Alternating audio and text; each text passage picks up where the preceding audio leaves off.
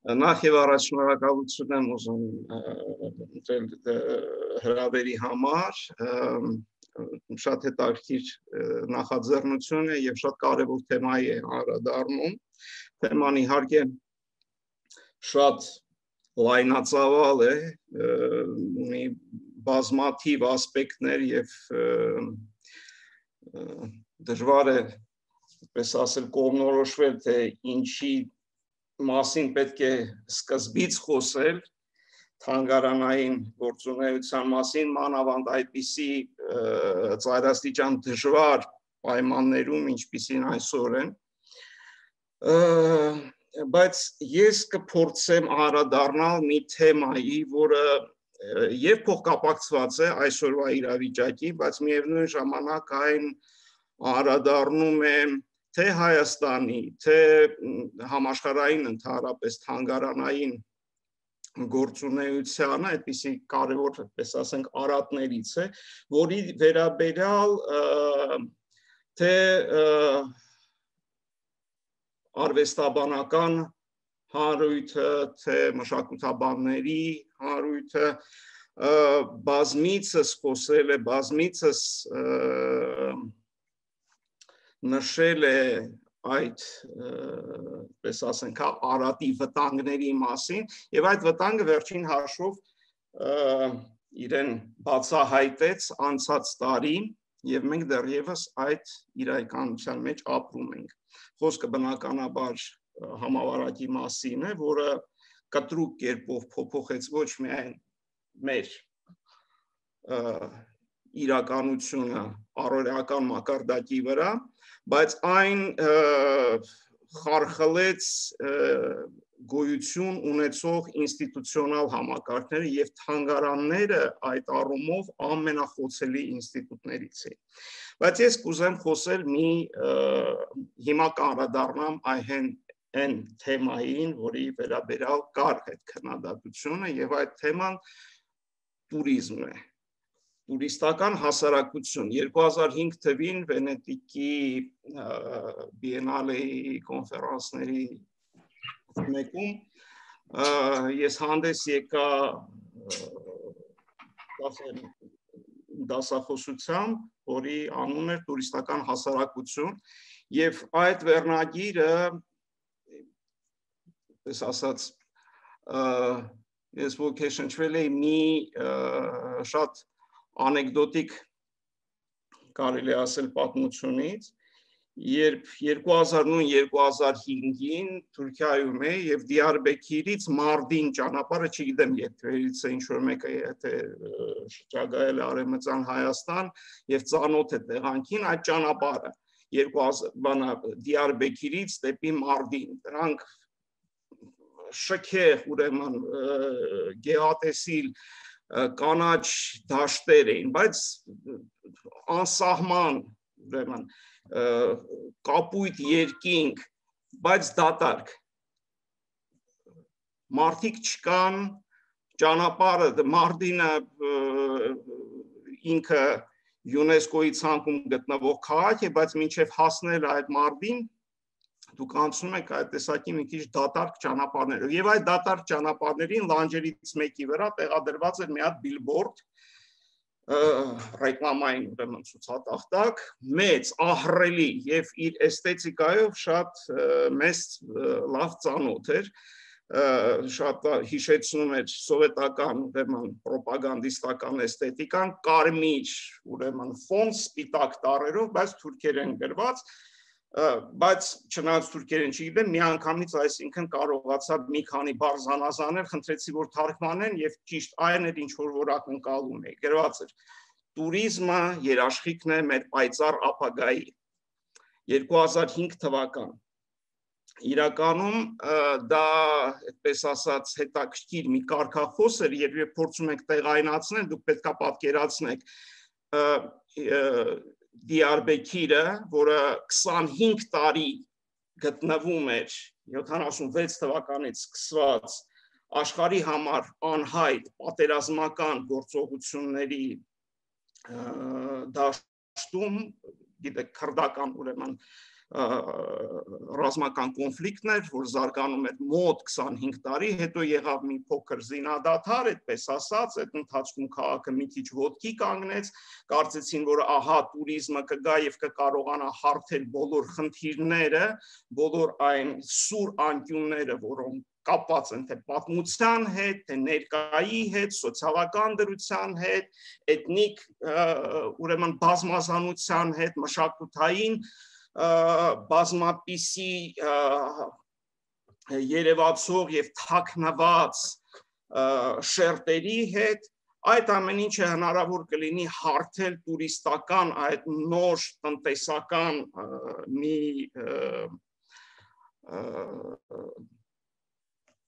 ֆորմատով բայց մի քանի տարի անց պատերազմը նորից է սկսվում եւ այդ նույն Դիարբեկիրը, որը որ որի հետ կապվում կապվում են բազմապիսի հույսեր, որ ինքը պետք է դառնա այդ տեսակի տուրիստական մի մեկկա, նույն Էրդողանի իշխանությունը այդպես պատմական կենտրոնը հավասարացրեց հողի հետ ռմբակոծեցին, ներխուժեցին, ավերեցին եւ դրանից հետո ի հայտ եկավ նաեւ մի հատ ուրիշ գաղափար, որ այ հիմա չնայած որ հին պատմական կենտրոնը ավերվել է, հիմա մենք կսարքենք նոր կենտրոն, կստեղծենք դրա իմիտացիան եւ բնականաբար խառնված էին այդ process-ի մեջ իշխանությանը մոտ գտնվող շինարարական կազմակերպություններ ասում էին նաև որ բաններ փեսաներ Էրդողանի նաև մասնակցում այդ քննին այդ process-ին բայց հիմա փորձենք հեռանալ այդպես բանից Թուրքիայից եւ տեղափոխվել թե հետ սովետական միջավայր, թե ընդհանրապես այսպես ասենք, համ միջազգային մասշտաբներով փորձանենք դիտարկել, թե այդ տուրիստական նոր տնտեսությունը ինչպիսի հույսեր էր ներշնչում եւ մասնավորապես հանգարաններին 90-ականների սկզբից էր երբ նեոլիբերալ տնտեսական համակարգը իսկապես լուրջ акցենտավորում դրեց туриզմի զարգացման վրա եւ եթե որպես օրինակ ես կարող եմ ել այդպես ասմի շատ հայտնի թանգարանի թանգարան դա Բիլբաոյի ուրեմն Guggenheim թանգարանն է, որը 91 թվականն է, 90-ականների սկիզբն էր, երբ Բիլբաոյի քաղաքապետարանը, քաղաքային խորհուրդը հասկանալով, որ նոր տնտեսական համատեքստում երբ բոլոր փոքր միջին խոշոր արդյունաբերությունները նրանք պետք է շուտով կուլ գնան, հա, գլոբալ տնտեսական համակարգին, ու որոշում են, որ դիմեն հայտնի Guggenheim թանգարանին, որpիսի նա այդպես ասած կիրառի դեռևս այդ ժամանակ բրենդինգ դժվար էր ասել, բայց առաջին փորձերից մեկն էր, որ իրականացնի Բիլբաոյում Guggenheim-ի նոր թանգարանի պես Guggenheim-ի թանգարանի կրկնօրինակը քույր թանգարան հիմնի եւ որը որ պետք է փրկի այդ քաղաքը։ Իրականում պետք է ասեմ, որ այդ ժամանակային համատեքստում լավ ծանոթ եք թե ինչպիսի ճարտարապետներ են մասնակցել Ֆրենգերին առաջ քաշեց ֆանտաստիկ նախագիծ թանգարանի համար եւ քաղաքի վերակառուցման վերաբերյալ նույնպես առաջարկվեց կոմպլեքսային մոտեցում, այսինքն խոսքը չէր գնում միայն թանգարանի ձևավորման մասին, խոսքը գնում էր ողջ քաղաքային կարևորագույն ենթակառուցվածքներից սկսած մինչև ինստիտուցիոնակարևոր ինստիտուտները, որբիսի կարողանան ձևափոխվեն եւ ներառվեն համընդհանուր մի տնտեսական ցանցի մեջ Դա աշխատեց, որոշակի առումով աշխատեց, բայց կա նաև մի ուրիշ հանգամանք, Գուգենհայմը Բիլբաոյում դիտարկվում է որպես այդպես ասած, հա, տնտեսական հրաշք, հաջողված փորձ, բայց միևնույն ժամանակ ով որ գիտի խնդիրը խորքից, շատ լավ գիտի նաև մեկ ուրիշ հատվածը, որ այդ թանգարանը լոկալ միջավայրում ձևավորեց լուրջ խնդիրներ եւ առ այսօր այդ ներքին դաշտում, մշակութային դաշտում ճեղքվածքը գոյություն ունի, կոնֆլիկտը գոյություն ունի, թանգարանը, որը որ այդպես ասած, որպես թարչող ափսե, հա, իջեցված է պրովինցիալ քաղաքում, Իսպանիայի պրովինցիալ քաղաքներից մեկում, որը որ լի է բազմապիսի խնդիրներով, գիտեք, բասկերի խնդիրը, սեպարատիստական բոլոր այդ քաղաքական ֆոնը, որը որ գործում է, terroristական ակտերը, եւ բնականաբար հանրության մեջ եւ մշակութային հանրության շրջանակներում արծարծվող հարցերը։ Դրանք, այդպես ասած, չէին տեղավորվում այն թանգարանի բովանդակային ֆորմատի մեջ, որը որ կոչված էր վերջին հաշվով կազմակերպելու քաղաքի եւ մի ամբողջ շրջանի տնտեսական թռիչքը ես ինքս 2008 թվականին հրավիրվել էի Guggenheim թանգարանի կողմից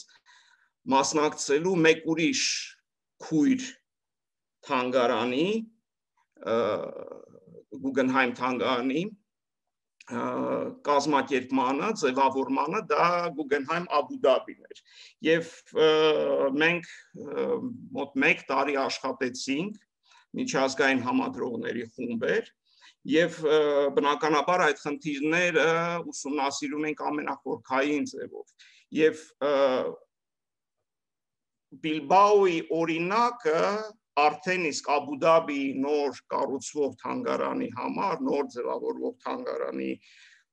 դեպքում այսինքն արդեն գիտեին եւ զգուշանում էին եւ փորձ էին անում ներ, ներգրավելով միջազգային դաշտում գործող համադրողների, տեսաբանների, թանգարանագետների, որպիսի կարողանան ժամանակակից արվեստի եւ արդի արվեստի հետ կապված հասկանալու թե ինչպես կարելի է ձևավորել նոր տեսակի թանգարան։ Եվ այդտեղ հետաքրքիր մի բան էր, հիշում եմ դեպք էր, որ տեղի ունեցավ, որ մենք նախ եւ առաջ ծանոթացանք բոլոր հա այդ Guggenheim-ի ցանցի թանգարանների հետ,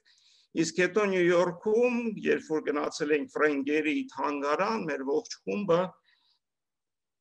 ուսումնասիրում էր առաջարկված նախագիծը եւ արդեն ճարտարապետական ուրեմն մոդելի վրա եւ հատակագծերի վրա, որտեղ որ ներկայացված էին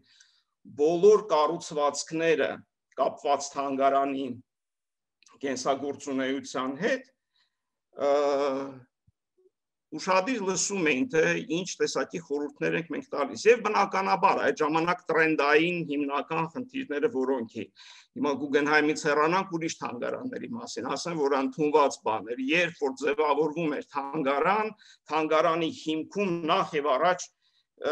սկսում էին դիտարկել այն հարակից ենթակառուցվածքային օղակները կոմպոնենտները, որոնք որ վերջին հաշվով կոչված են սպասարկելու թանգարանի բուն գործունեությունը դա թե ռեստորանային համակարգն է եւ գեստրումներն են եւ visitor center-ներն են եւ այլն եւ այլն եւ այլն խանութները շատ անգամ ես ինքս եմ ներկա գտնվել նմանատիպ քննարկումների եւ տեսել եմ բազմապիսի նման նախագծեր, որ վերջում մոռանում էին թանգարանի բովանդակության մասին, կենտրոնանալով այդ հարակի ծողակների վրա, իսկ թե ինչ կներկայացնի թանգարանը, թե ոնց ինքը ինչ ինչ բովանդակություն այն պետք է պարունակի, ինչպես պետք է մտնի հարաբերության մեջ իր իսկ սեփական այդտեղ ապրող համայնքի կամ համայնքների հետ, ել չասած միջազգային համայնքի հետ, որը որ պետք է գա մտնի թանգարան, ծանոթանա թանգարանի հետ, դա այդպես ասած դիտարկում էր որպես երկրորդային խնդիր։ Հիմա Guggenheim Abu Dhabi դեպքում երբ որ այդ դիսկուրսը արդեն իսկ գոյություն ուներ թանգարանների այդ խնդիրների մասին, մենք քննարկում էինք եւ մենք պես ասած տարբեր համադրողներ կանգնած պրոյեկտի շուրջ, ասում ենք այստեղ լավ կլիներ, որ կրթական մասը դառնա առանցքային առանցքային հատվածը թանգարանի հիմնականում շեշտը դնում են կրթականի վրա, որտեղ հաշվի առնելով նաև Էմիրատների եւ Աբու Դաբի համատեքստը, կոնկրետ համատեքստը։ Հետո Վենետիկում երբ ֆրենգերի հետ հանդիպեցինք, ինքը որտեղ Նյու Յորքում ներկա չէր։ Ինքը տարօրինակ երկու հետո եկել էր եւ ասում էր այ պարոն Քորտունը կամ պարոն Արեշացյանը կամ Տիկին Տոմեն հանդիպման ժամանակ այսենց այսենց այսենց ուրեմն նկատողություններ են արել եւ մասնավորապես կապված կրթական կենտրոնի հետ կրթական առանցքի հետ ես դա վերանայել եմ իմ նախագծի մեջ եւ ահա ձեզ առաջարկում եմ ահա պրոյեկտի այս տարբերակը դա այդպես ասած հա միևնույն միևնույն ժամանակ թե նման ճարտարապետի կողմից բավականին շոյված ես քեզ զգում, երբ այսինքն հա քո ասած խոսքը ուրիշ քաղաքում, մեկ այլ քաղաքում այդպիսի հեղինակավոր ճարտարապետ հիշում է եւ ասում է, որ մենք մեր թիմը դայի նկատի ունեցել է, դիտարկել ենք եւ դա կիրառել ենք արդեն այս նոր նախագծի մեջ։ Բայց խնդիրը այլ է, որովհետեւ անցել էր արդեն մոտավորապես 10 6-17 տարի Բիլբաոյի ուրեմն նախագծից հետո ուրեմն Աբու Դաբին էր պետք է ձևավորվել եւ այդ ժամանակ իմիջալոց Գուգենհայմը ստացել էր բազմապիսի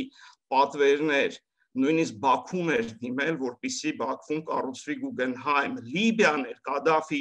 օրոք դիմել, որպիսի այնտեղ կառուցվի նաև Գուգենհայմ, բայց Աբու Դաբին ուրեմն ամենահարմար տեղերից մեկն էր տուրիստական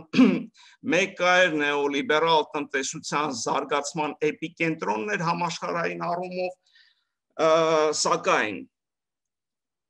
բոլոր Վերինաշյանի հակասական համատեքստ մի կողմից դուք կարող եք տեսնել օրինականացված տրկատիրություն, տրեֆիկ հանցինս տրեֆիկինգի, մյուս կողմից դուք կարող եք տեսնել քաղաքական կամք, քաղաքական կամք ձևավորելու նոր տեսակի մշակութային իրականություն որովհետև Էմիրատները այդ առումով շատ հետևողական են, հասկանում են, որ պաշարները նավթի անսպար չեն, մեկ օր վերջանալու են, բայց պետք է օգտագործել այսօրվա հնարավորությունը ձևավորելու համար կրթված հասարակություն։ Եվ համայնքի ձևավորումը առաջնահերթ խնդիրներից մեկն էր, որովհետև վերջին հաշվով այդ համայնքը այնտեղ գոյություն չուներ եւ այսօր դեռ եւս ինքը ձևավորման փուլում է գտնվում։ Հիմա վերադառնանք Հայաստան։ Ինչ խոսելով տուրիստական ուղղացու տուրիստական տնտեսության ազդեցության մասին ընդհանուր մշակութային դաշտի հարային գիտակցության վրա եւ թանգարանային իհարկե գործունեությանը կամ ցուցահանդեսային կենտրոններին, ինստիտուտներին, որոնք որ զբաղված են մշակութային միտք մշակութային product ներկայացնելով եւ արտադրելով Այդտեղ մենք տեսնում ենք, թե շատ անգամ ինչպես է տուրիստական տնտեսությունը ոչ միայն ձևավորում ինստիտուցիոնալ կառուցվածքը, այլ միևնույն ժամանակ ներազդում բովանդակության ձևավորման վրա ցուցադրվող բովանդակության, ներկայացվող բովանդակության վրա։ Եվ այդտեղ կարող են ազդել նաև որոշակի բեքգրաունդային, հա, ֆոնային գոյություն ունեցող տենդենսներ, որոնք որ կոնկրետ հետ խորհրդային կամ խորհրդային ուժ խորհրդային հանրապետություններում կապված են արդի համատեքստից հետ արդիական համատեքստի անցման process-ի հետ, մասնավորապես ինդիվիդուացման, մշակութային ինդիվիդուացման process-ի հետ։ Երբ բարդ բաներից տերմիններից անդրադառնամ, պես ասած, པարս բացատրությանը։ Բոլորդ լավ հիշում եք ուր սովետական շրջանը, սկսած ուշ 60-ականներից ողջ 70-ականների եւ 80-ականների շրջանը, հա, Զաստոյի Բրեժնևյան ժամանակաշրջան էր, երբ շատ անգամ հարևան հարաբերությունները կարծես թե ունեն իրանց մեջ գնալ, գալ, հա, ընդհանուր այդ իրավիճակը կար, բայց կոնտեքստները իրար հետ այլևս բացարձակապես կապ չունեին։ Գիտությունը կարծես թե գնում էր դեպի, պես ասած, ինկապսուլյացիա, ներքաշվում էր իր մեջ հետաքրքրությունները ընդհանուր առմամբ պարփակվում էին լոկալ սիտուացիաների վրա Հայաստանը իր խնդիրներով էր, Վրաստանը իր խնդիրներով, մյուս հանրապետությունները իրենք իրենց ձևավորվում էին, կարծես թե նախապատրաստվում էր որոշակի անցում արդեն դեպի նոր իրականություն, post-սովետական իրականություն, կար որտեղ կար այդ կանխազգումը, կանխազգացումը նրան, որ խորթային համակարգը շուտով արդեն կփլվի, կվերանա եւ որոշակի առումով հենց այդ տենդենսները նախապատրաստեցին նաեւ այդ համակարգի եւ այդ մեծ կայսրության փլուզմանը եւ և, Ես հիշեցի նաև մի հատ ուրիշ մի պատմություն այդ ինդիվիդուացման խնդիրների հետ կապված, լավ, մի հատ վերջացնեմ այդ ինդիվիդուացման խնդրի հետ կապված պատմություն, ինչ է ինքը իր հետ բերում։ Ինքը իր հետ բերում էր որոշակի առումով այդ կենտրոնացում լոկալ պատմությունների վրա, լոկալ մշակութային զարգացումների վրա մոռանալով, այդպես ասած, հա, փոխկապակցվածությունը համաշխարհային տենդենսների հետ եւ ընկալելով որ իրավիճակը այդպեսին էլ եղել է այնինչ 20-րդ դարը եղել է շատ եւ ոչ արդի ժամանակաշրջանը նույն Հայաստանի կոնտեքստի համար եղել է շատ բազմազան, բազմատիսի կապերի առումով որտեղից էին մարդիկ գալիս ինչպիսի գիտելիք էին իրենք բերում, նույնիսկ ինչպիսի դիսկուրսներ էին հա ձևավորվում, որոնք որ ընդհանրապես մոռացված են, մշակութային դաշտում, որոնք որ ընդհանրապես որ մոռացված են։ Եվ այդ դիսկուրսներ էին, որոնք որ ձևավորում էին այդ իրականությունը իրականությունը, որը որ մենք փոխկապակցում ենք արդի ժամանակաշրջանի հետ, իսկ հետ արդի շրջանը կապված է այ այդ իրականության թե դրվագմամբ եւ միևնույն ժամանակ որոշակի ֆազաների մոռացմամբ։ Եվ այդ մոռացումը միևնույն ժամանակ եւ կենտրոնացումը որոշակի առանձին դիտարկված սեգմենտների վրա այդ ընդհանուր զարգացման տրամաբանության ընթացքի ինքը առաջ էր քաշում նաև որոշակի տուրիստական արդեն տնտեսական համակարգի մեջ դիտարկված որոշակի էկզոտիզացման, խնդիրների էկզոտիզացման, օրիենտալիզացման, գաութայնացման եւ միֆականացման երկու տարի առաջ էր, երբ հեղափոխությունից հետո էր եւս մեկ անգամ փորվեց հրաապարակում մի հատված եւ այնտեղից տակը բացվեցին կրկին անգամ բացվեցին ուրեմն Երևանի հին Երևանի ուրեմն քաղաքի կառուցվածքի ուրեմն հատվածներ, այնտեղ հիշում եք կամարները այդ շենքերի հրաապարակի տակ բազմաթիվ ուրեմն շենքեր են, որոնք մնացել են եւ նոր իշխանությունները այդպես ողջևորված կրկին անգամ հարադարձան այդ խնդրին, որ եկեք բացենք հրաապարակը ամբողջությամբ, չնամ առանց հասկանալու թե ինչ խնդիրների առաջ դա կարող է կանգնեցնել քաղաքը, քաղաքի կենտրոնը եւ այդտեղ կկազմակերպենք նոր տեսակի տուրիստական մեկկա քաղաքային մեկկա, որը կլինի այդպես ասած մի հատ մեծ ֆուրոր, մեծ բում բացատրում են, որ չի կարելի, բացատրում են, որ քանի անգամ հարադարձել են այդ խնդրին եւ գտել են, որ դա իրականում ապագա Հայի բանը այսօրվա դրությամբ վերջին հաշվով դա այդքան կարևոր բան չի բայց այդտեղ հիշում եմ իշխանության ներկայացուցիչներից մեկն էր այդպիսի մի միտք արտահայտեց ասած պետք է բացել ստեղծել այդ բացված քաղաքի կամ շենքերի վերաբերյալ որոշակի միֆ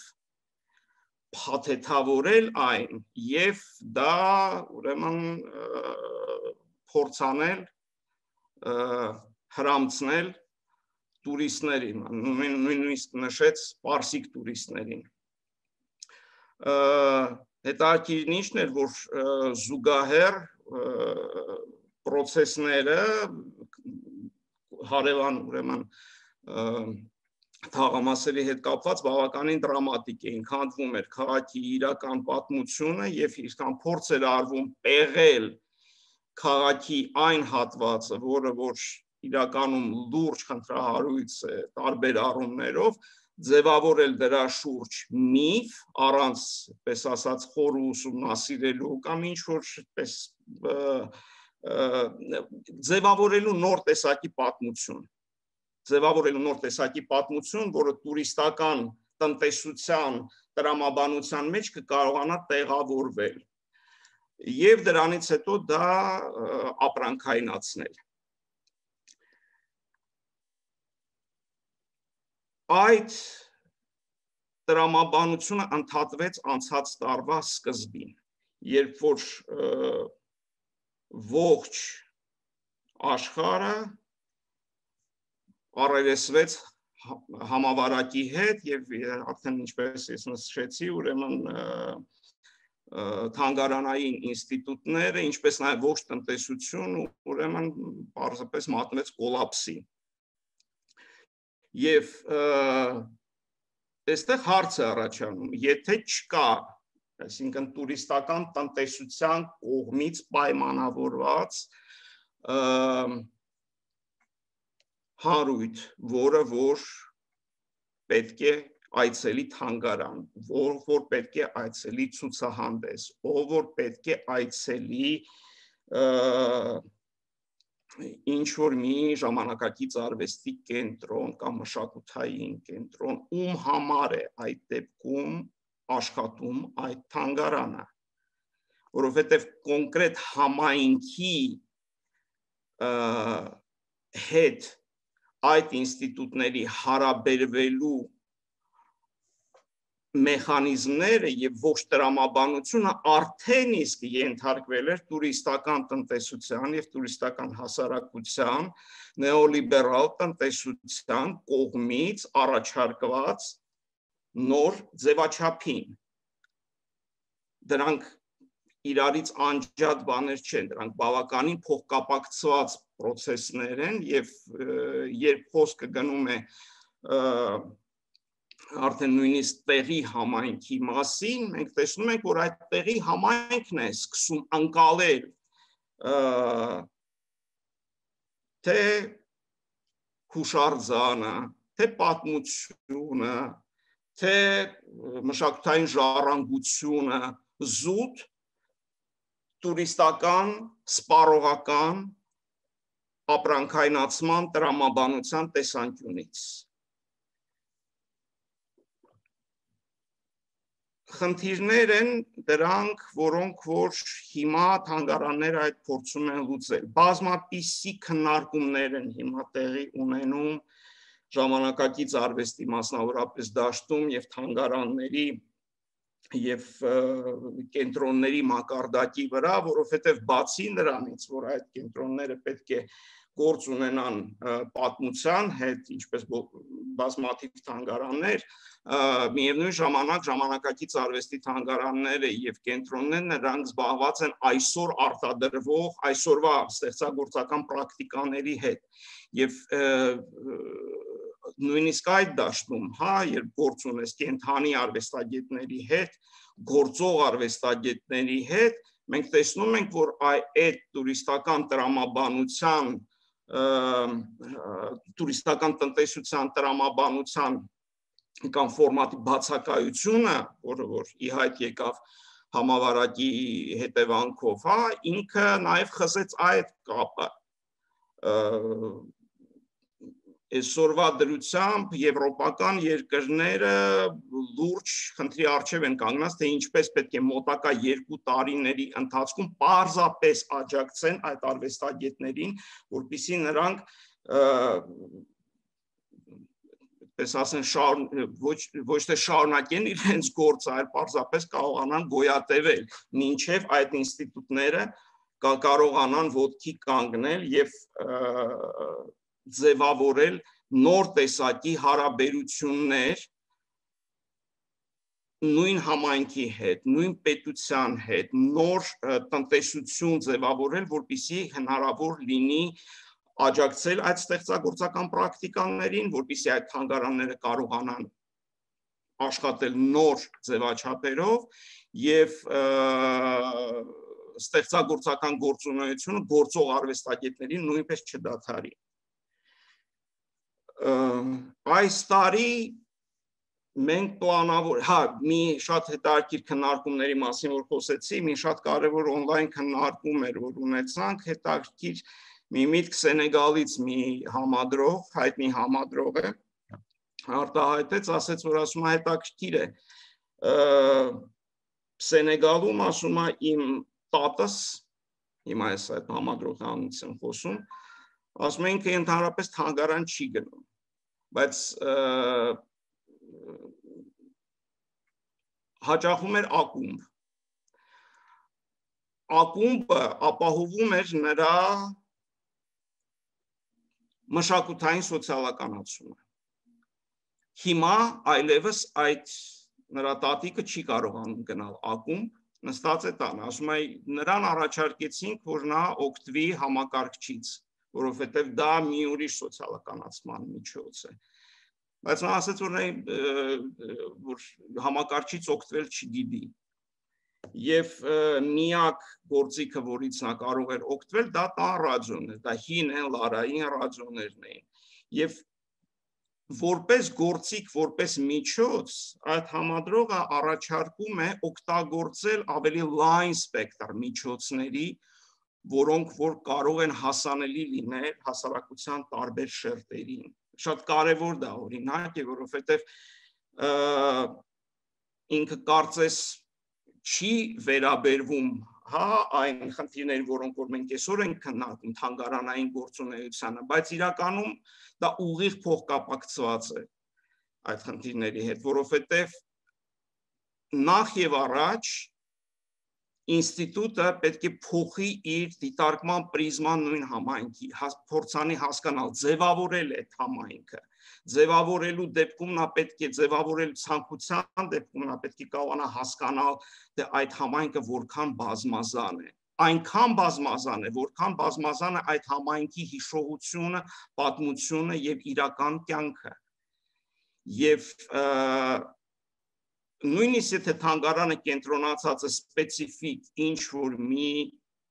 ոլորտի կամ ինչ որ մի անձի կամ ինչ որ մի պատմական ժամանակաշրջանի ներկայացման հետ նույնիսկ այ այդ ժամանակաշրջանի անձի կամ ոլորտի հետ կապված հարաբերությունը կոնկրետ հասարակության կամ համայնքի ներկայացուցի հետ նույնպես ենթարկվում է արդեն ավելի նեղ կարելի ասել, եթե մենք տուրիստական մեծ աշխարհագրությունից կենտրոնացնում ենք մեր ֆոկուսը տեղի վրա եւ հասկանում ենք, որ խոշորացնելով միևնույն ժամանակ այդ համայնքի պատկերը մենք ստանում ենք Վերինաշյանի բազմազան եւ բազմաշերտ պատկեր բազմաշերտ խնդիրներով հանդերձ ես այսքանը կուզեի պատմել տնտես այդպես ասած որոշակի տեսական էքսկուրս անելով այսօրվա իրավիճակների հետ կապված, բայց որպես օրինակ ես կուզեի անդրադառնալ 2-3 անջան մենք ինչքան ժամանակ ունենք։ Դեռ 5 րոպե կարող եք խոսել, պարոն Աշոտ։ Հա, շատ լավ, ես փորձեմ տեղավորվել։ Ես կուզեի անդրադառնալ երկու ցուցահանդեսի վրա, որը որ ես համադրել էի 2017 թվականին դա ստանդարտ տրիենալեի ժամանակակից արվեստի տրիենալեի շրջանակում ուրեմն իմ համադրած մեկ վարքյան ես կիսեմ edges, հա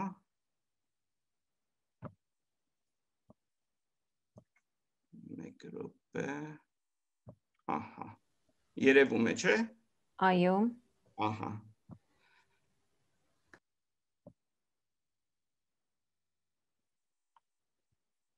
ըհը ոպ ներողություն շատ լավ Ուրեմն 17 թվականին դա ստանդարտ ժամանակակից արվեստի տրիենալեի շրջանակներում համադրել էի դեժավյու ստանդարտ ցուցահանդեսը, որը որ տեղի ունեցավ Սևանի գրողների հանգստյան տանը։ Ցուցահանդես, որին որ հրավիրել է 3 շատ անվանի միջազգային արվեստագետներ, Ջերարդ Բերնը Իռլանդիայից, Յոսեֆ Դաբերնիկը Ավստրիայից եւ Իգոր Գրուբիչը Խորվաթիայից եւ ներկայացրել էի նաեւ 20-րդ դարի տարբեր ժամանակաշրջան տարբեր ժամանակաշրջաններ ներկայացնող ճարտարապետների մասնավորապես խոսքը գնում էր ես վերևի բանը չի դուրս գալիս հա խոսքը գնում էր օպրայի ականավոր ճարտարապետներ Միքայել Մազմանյանի, Գևորգ Քոչարի եւ Կարո Հալաբյանի մասին եւ ցուցահանդեսը տեղի էր ունենում Սևանի գրողների երկու մասնաշենքերում, հյուրանոցային մասնաշենքում եւ ճաշարանային մասնաշենքում, որը որ նախագծվել էր Միքայել Մասմանյանի եւ Գևորգ Քոչարի կողմից 30-ականներին, իսկ հետո արդեն 50 60 թվականին ներողություն, երբ որ Աքսորից երկու ճարտարապետներն էլ վերադարձել էին, ուրեմն Քոչարը իրականացնում է շենքի ռեկոնստրուկցիան,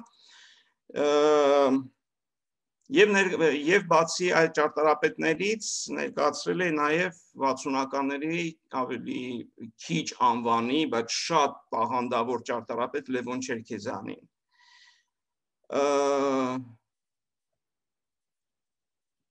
ներկայացված էին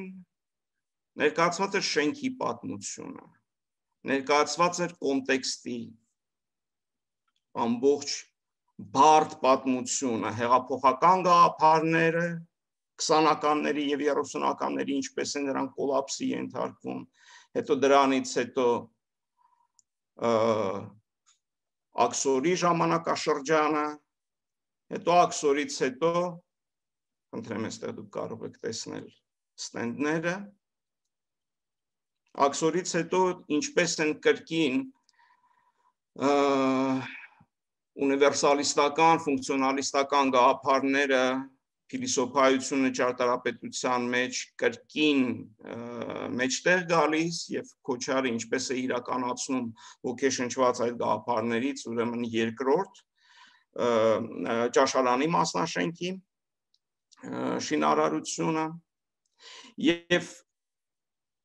համադրելով երկու ժամանակաշրջանների պատմություն 20-ականների, 30-ականների եւ 60-ականների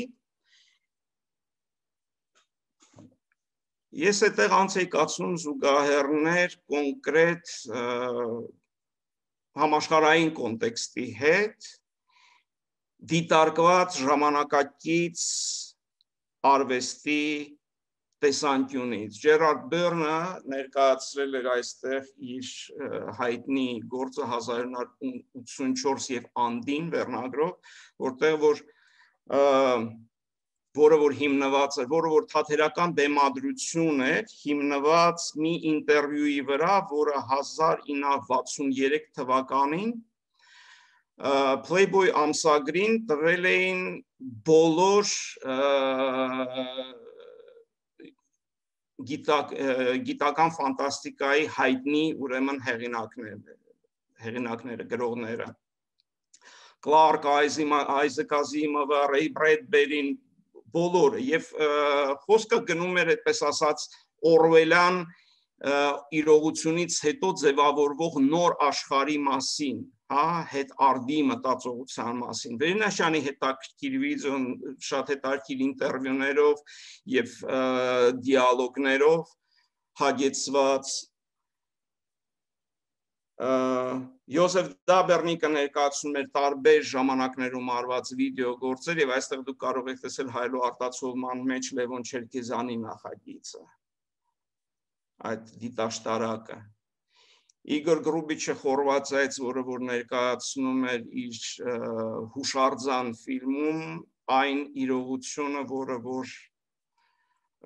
տեղի է ունենում հետ սոցիալիստական հարավսլավական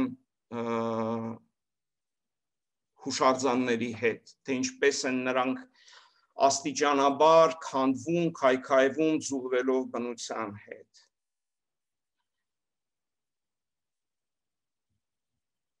Ինչն է հետաքրքիրը։ Բավականին բարդ ցուցահանդես է, շատ բազմաշերտ ցուցահանդես է։ Ինձ համար սա, պես ասած, կարևորագույն ցուցահանդեսներից էր, ոչ միայն նրա համար, որ գործ ունեի իմ ամենասիրված արվեստագետների հետ, ամենաերազելի բայրում էր կազմակերպված ցուցահանդեսը, բայց կար մի հատ շատ կարևոր բան վերջում, հա, երբ որ ցուցահանդեսը արդեն ուզում էինք տանել, մարդիկ ովքեր որ աշխատում էին այդ հանգստյան որոնք որ Տևան քաղաքից էին, Ծովագյուղ գյուղից էին, նրանք անդիմանում էին, ասում են մենք չենք ուզում ցուցահանդեսը որ հավաքվի մենք ուզում ենք վերջում ստիպեցին որ գոնե մի մասը ցուցահանդեսի մնա Այսինքն ինչն է կարևոր, որ ցուցահադրությունը կարողացավ արտնացնել ոչ միայն հետաքրքրություն, այլ արտնացնել մարդկանց մոտ, որոնք որ արտակուստ այդպես ասած, հա, կարծես ժամանակակից արվեստի հետ որևիցե առնչություն պետք է չունենային։ Դա այն ինչ որ որ բարբերաբար այստեղ այդպես ասացա մի քիչ ռոպագանդիստական միտումներից ելնելով բաներ արվում, քարոզվում էր, որ այսինքն ժամանակակից արվեստը դա ինչ որ օտար մի բան է, որպես քաղաքականություն է կիրառվում, ոչ մի բան հասկանալի չէ, շատ լավ էլ հասկանալի է, եթե գործ ունեք, պես ասացա, նուրբ համադրության հետ, եթե խոսքը գնում է բովանդակությունը ներկայացնելու այնպես, որpիսի այն կարողանա ունակ լինել բացահայտել, ոչ միայն պատմական շերտել, այլ նաև քո կապը, սեփական կապը այ այդ պատմության հետ։ Եվ ոչ միայն պատմության, որը կապված է կոնկրետ տեղը, տեղի հետ, կոնկրետ Հայաստանի Սևանի հետ կամ Հայաստանի հետ կամ սովետական միության հետ, այլ որքան ընդլայնված է ժամանակաշրջանը, որտեղ այստեղ դուք կարող եք տեսնել հենց սկզբում հետարքիր մի լուսանկար, սա Սիմոնե դե Բուարի եւ Ժան-Պոլ Սարտրի այցն է Սևան։ Հա? Սա ընդհանրապես մի լուսանկար է, մի օրինակ է, որը որ ներկայացնում է էպոխալ բարդ հա պատմությունները եւ կապերը, բայց յուրաքանչյուր լուսանկարի էսթետիկա անդրադառնում է ժամանակատարբեր ժամանակաշրջանների համատեքստներին եւ պատմություններին։ Մյուս ցուցահանդեսը, որի մասին որ ես կուզեի խոսել, դա վաղվա քաղաք ցուցահանդեսն է, շրջիկ ցուցահանդեսը, որը որ մենք սկսեցինք մեր թիմով, ես, իմ ընկերս եւ գոլեգաս Գյորգ Շոլհամերը, Ավստրիայից, Նյու Յորքից մոդեռն արտ թանգարանի համադրողներից աննակացը եւ միջազգային մեծ թիմ, որը որ աշխատում է ցուցահանդեսի վրա, այն սկսվեց Երևանում Ալեքսանդր Թամանյանի անվան ուրեմն թանգարանում առաջին ցուցահանդեսներ, հետո գնաց Մինսկում ցուցադրվեց, հետո Նոր Տրիցակովյան թանգարանում, այստեղ դուք կարող եք տեսնել լուսանկարներ 19 թվականին բացված եւ 20 մինչեւ 20 թվականի փետրվար տևեց այս ցուցահանդեսը մեծ ցուցահանդես էր յուրաքանչյուր քաղաքում ցուցահանդեսը փոփոխության էր ենթարկվում ինք ուներ առանցքային հատված որը որ պատմում էր ընդհանուր սովետական արդի ճարտարապետության պատմության մասին հա տենդենս սկսած ավանգարդից հետո հետ պատերազմյան Խրուշչովյան ժամանակաշրջանի երկրորդ մոդեռնիստական ալիքի ալիքին էր անդրադառնում եւ նաեւ հետ արդիական պոստմոդեռնիստական համատեքստներ ուրեմն ներառում իր մեջ բայց փոխելով ցուցահանդեսը իր վայրը կենտրոնանում էր այն միևնույն ժամանակ հենց այդ վայրի կոնտեքստի վրա այսինքն Հայաստանում ինքը ուներ երկրորդ մասը ցուցահանդեսի որը որ պատմում էր հայկական համատեքստի մասին ավանգարդից սկսած վերջացած պոստմոդեռնիզմով Մինսկում բելարուսական համատեքստներ ներկայացված, Մոսկվայում մենք ներկայացնում ենք ռուսական համատեքստ, այսինքն մայրաքաղաքում մենք պատմում ենք ռուսական ռեգիոնների մասին եւ միևնույն ժամանակ ներկայացնում ենք ճարտարապետական ցուցադրությանը զուգընթաց ժամանակակից արվեստի 14 հայտնի արվեստագետների ստեղծագործություններ ռուս եւ միջազգային ուրեմն արվեստագետների ներկայացված ցուցահանդեսը ահռելի 1000 քառակուսի մետրից ավելի ցուցադրություններ երկու հարկով մեծ ռեզոնանս առաջացրեց այստեղ դուք Միխայել Դալմաչովի ինստալյացիայի հատվածը կարող եք տեսնել ցուցադրության մեջ Այստեղ կարող եք տեսնել Դմիտրի Գուտովին եւ նրա ինստալացիան, որը որ նա պատրաստել էր հենց այս ցուցահանդեսի համար։ Իսկ այստեղ դուք կարող եք տեսնել, թե ինչպես հանդիսատեսներից մեկը դիտում է ստերեոսկոպիկ պատկերներ Ernst հայտնի գերմանացի ճարտարապետ Ernst May-ի արխիվից ստերեոսկոպիկ նկարներ, որոնք որ ներկայացված են նաև Հայաստանում, Երևանի ցուցադրության մեջ, եւ այդ ստերեոսկոպիկ պատկերների մեջ կար նաև մի շարք պատկերներ, որոնք պատմում են Էրնստ Մայի այցի մասին Լենինական 1932 թվականին եւ տառնակն ինչն է որ ցուցահանդեսի հետազոտման նախնական հետազոտման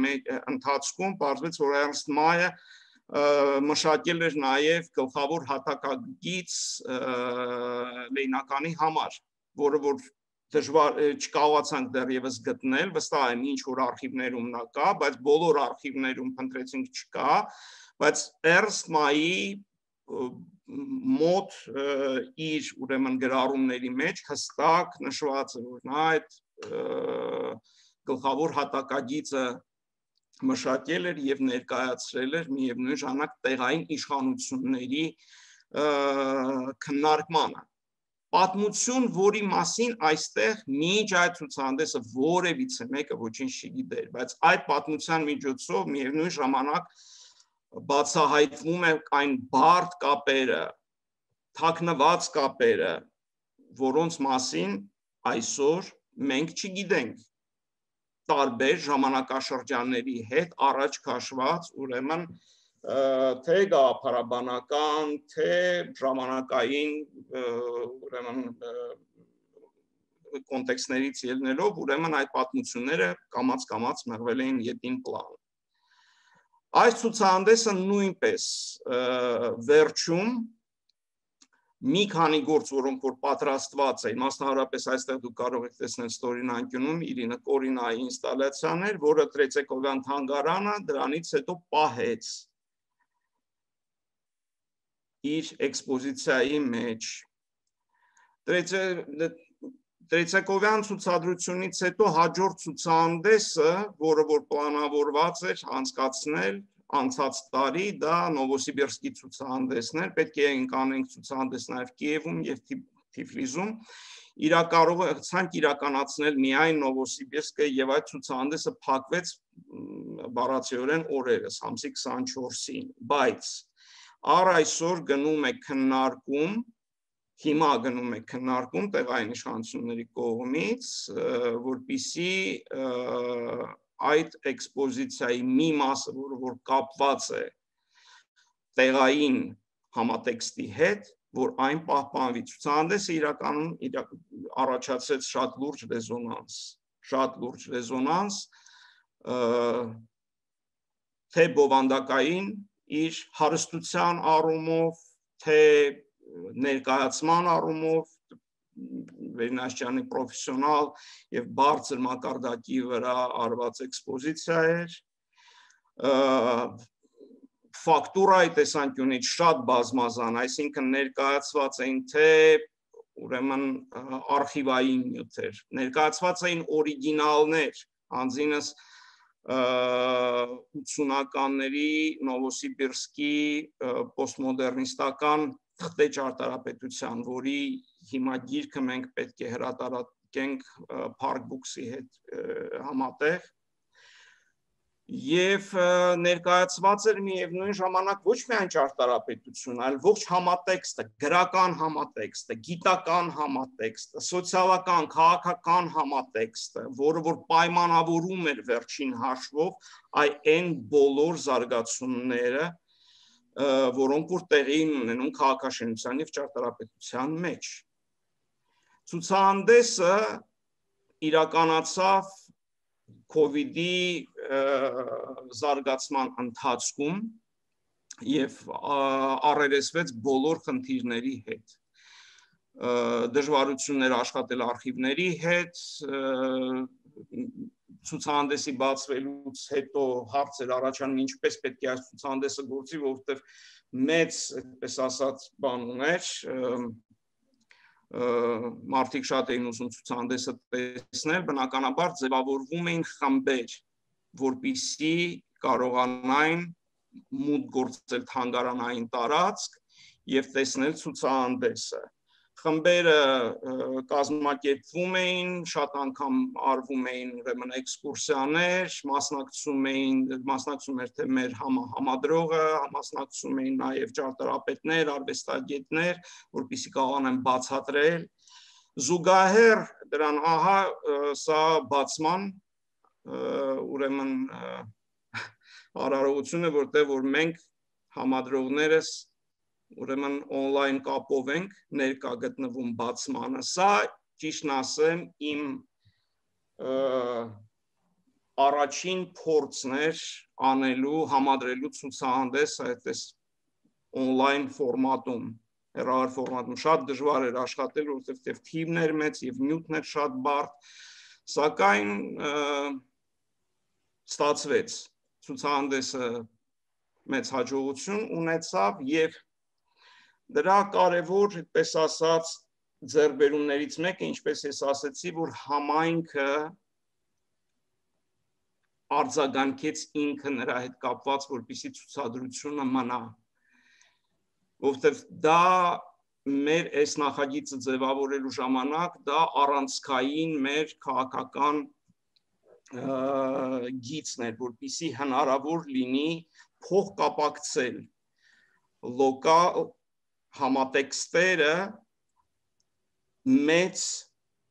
համատեքստերի հետ, մեծ պատմությունների հետ եւ ցույց տալ թե ինչքան ուղիղ կերպով են նրանք փոխկապակցված եղել եւ ինչքանով են այդ բոլոր պատմությունները եւ այդ շերտերը մոռացության ենթարկվել։ Համայնքի ձևավորումը թանգարանների համար առանցքային խնդիր է բացառեք յուրաքանչյուր գիրք, որը որ դասագիրք, որը որ կապված է թանգարանագիտության հետ, թանգարանների ձևավորման հետ առաջին պայմաններից մեկը համայնքի ձևավորումն է բայց համայնքի վերաբերալ այդպես ասենք մենք կարող ենք ունենալ շատ տարբեր պատկերացումներ այսօրվա իրականությունը կրկին վերադարձրեց մեզ բոլորիս